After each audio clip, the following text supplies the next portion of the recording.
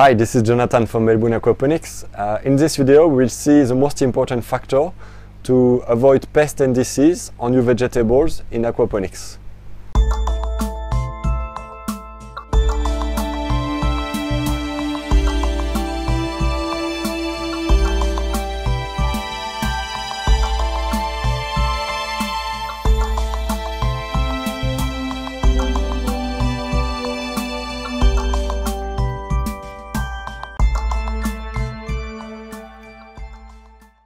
So as you know, in any garden, uh, as soon as you got some vegetables and you got a, a certain crop, you start to have some uh, some pests and some bugs that are eating your crop. And actually, this is completely part of the natural cycle. You know, uh, uh any any species normally in, in nature uh, have a, a predator, and this predator has another predator. Right? It's all about cycles. Uh, and it's completely acceptable. Uh, the only problem is when you got too much of uh, this predator and you got one pest that is covering all your crop and you lose your whole crop and that's uh, the real problem. So in, uh, in agriculture, you know, in agriculture, uh, most of the farmers, they, they work with monoculture. You know, if you look at a field, you will see field of corn, of anything of wheat, but if there is any pest, the pest is going to spread everywhere because it's going to spread from one cone to another. And uh, because there is no biodiversity, there is no many, there are no many predators. So the farmers are using uh, pesticides to regulate uh, those disease, and actually they kill any any potential predator of those pests. So they really rely on pesticides and that's the only way for them to maintain the, the, the crop in good health to avoid pest and disease. Uh, in aquaponics, we work with a very different uh, approach because uh, uh, the, the, the aim of aquaponics is to produce in a sustainable way and to produce with nature using the natural cycles.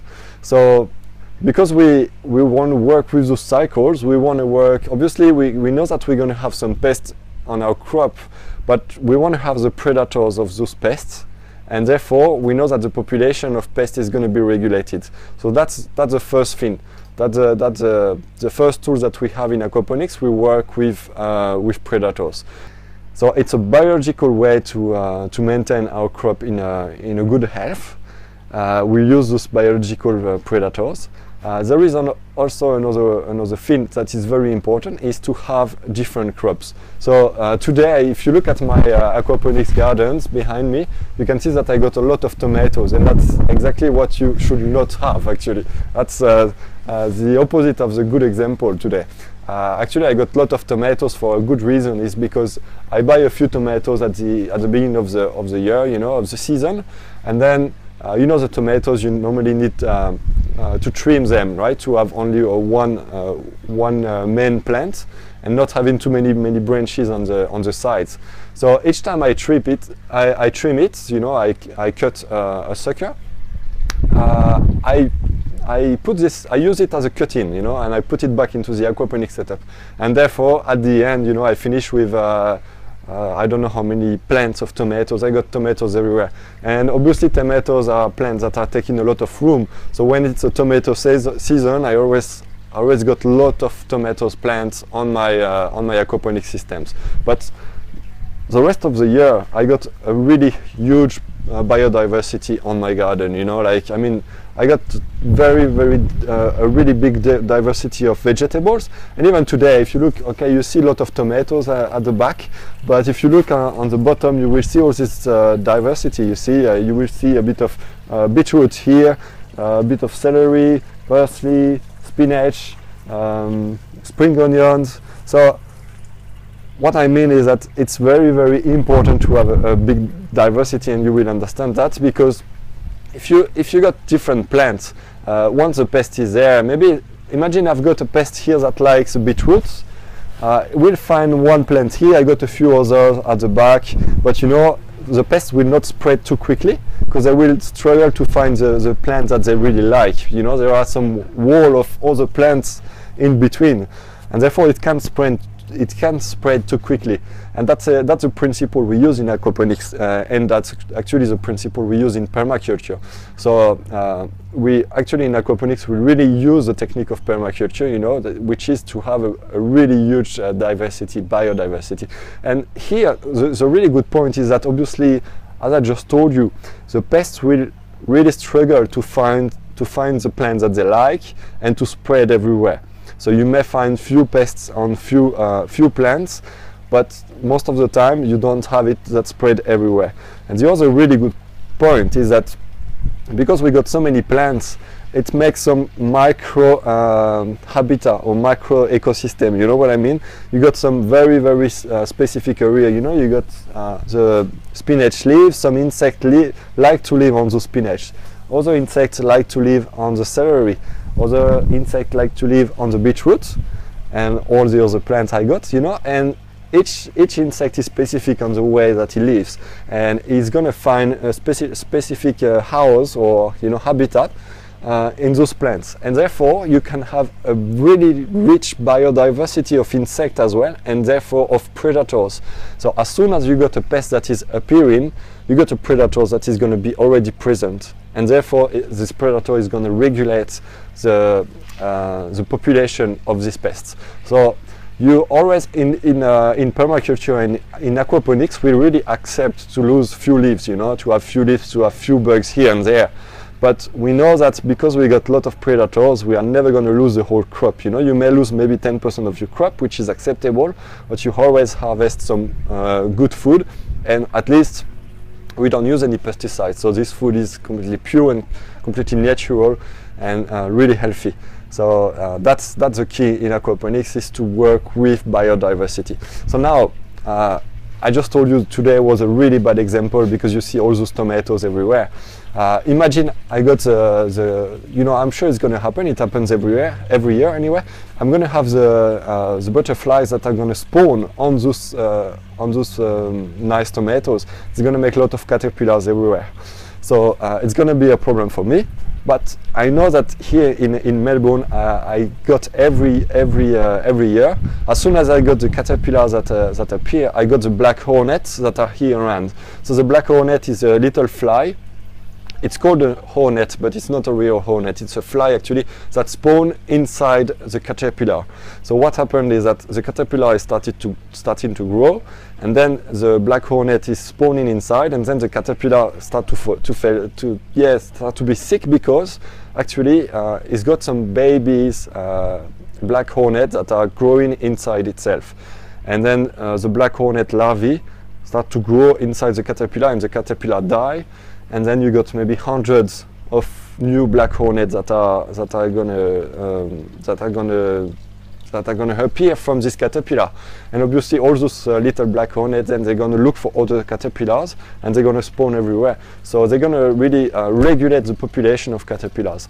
And that's really the key. Imagine if i spray those those, those, uh, uh those tomatoes as soon as i see an, uh, a caterpillar Obviously, I would get rid of the caterpillar, but the problem is, I would first, I would, uh, it would be dramatical for the for the aquaponic setup. Uh, please don't do that if you got a, an aquaponic setup. Never spread any pesticide. That's the worst thing you can do because obviously it's gonna be on your plant, it's gonna be on your fish. So first, if they don't kill the, if it doesn't kill the fish, uh, it's not going to be good for you. It's not going to be healthy, right? Because uh, those substances at the end you're going to eat them. So please don't do that. But the worst part is that those pesticides they would finish into your grow bed, into your water, and on the bacteria, and they would kill most of the bacteria. So it would uh, it would uh, engage a lot of uh, big problems, you know, because then you would have troubles of ammonia and nitrate. So don't use any pesticide in uh, in aquaponics, and even you know there are some uh, biological. I mean they are, they are classified as organic pesticides. Uh, I would recommend to only use nature. You know, nature is designed to uh, to always uh, balance the populations. So as soon as you got a pest, you're gonna have a predator that is gonna appear. Sometimes it takes a bit of time. It takes it may take you know uh, one week before the predator are here in, in the in the correct density to regulate uh, the population of pests. But you have to accept it. I mean, you know, we work with nature, and sometimes we lose a bit, but most of the time we win And even if you lose 10% of your crop, at the end of the day, as I told you just before, you have 100% organic production of real food that is tasty and that is healthy, healthy for you. So even if you got a bit less, at least the, the, the crop that you got is really good for you. So please don't don't spray anything. If you spread any uh, any pesticide here, you're gonna get rid of the caterpillar, but you're gonna kill all the predators. And if you kill all the predators, then uh, you will have to spray every time, and you don't work with nature. And then you are in the same same system as in classic agriculture. So please try to hold when you see uh, some uh, some parasites, uh, some pests, leave them and uh, try to find the, the predators. Now there is uh, another solution as well to get rid of, of, those, of those pesticides is to buy some um, some predators, you know, you can buy them from uh, online. You can find some uh, caterpillar from um, ladybirds larvae or black hornet or whatever your problem is, you will probably find a predator online. So you can buy, the, they, they arrive by the posts, you know, and you can release them in your on your on your ecosystem and they will live here and they will uh, get rid of all your pests i don't really recommend this option because most of the time you got the predators that are present naturally in your uh, in your uh, location in your area and you will find that they will appear when the pests are here so they, they often take a bit of time to arrive maybe one or two weeks but then they are here and they get rid of the problem. And the good thing is that they adapted to the to the weather, to the climate, and to the to the ecosystem.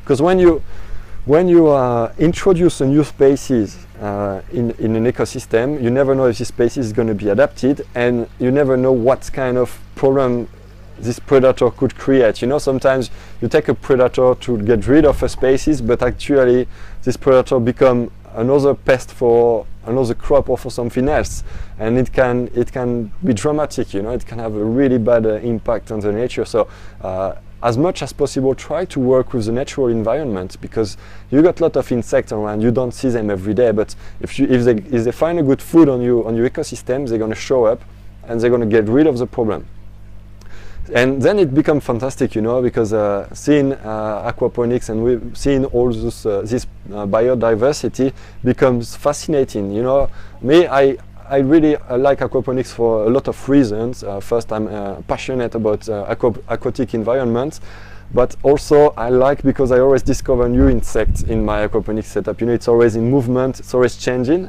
and I always see more biodiversity, and I love it and especially I'm French, as, as you know, and uh, I live in Australia, so I've been here for four years now, and uh, you know, every year I find i I find new insects here because I'm not used to this uh, to this ecosystem that we have in, in Australia. Obviously, I know most most of the insects and most of uh, uh, of the most common uh, species but you know when you when you look very closely you find always new things and it's very interesting. Just for for example here in Australia we got a, a bee that is blue a natural um, uh, native bee and uh, that's fantastic to see those bees uh, around the flowers you know uh, it's it's just uh, wow when you see those, those blue bees it's I, I'm so happy you know when I design an aquaponic setup and they come and they, they feed on my uh, on my aquaponic system because by having this ecosystem here I I have a positive impact on the on the natural um, on the natural biodiversity of the of the area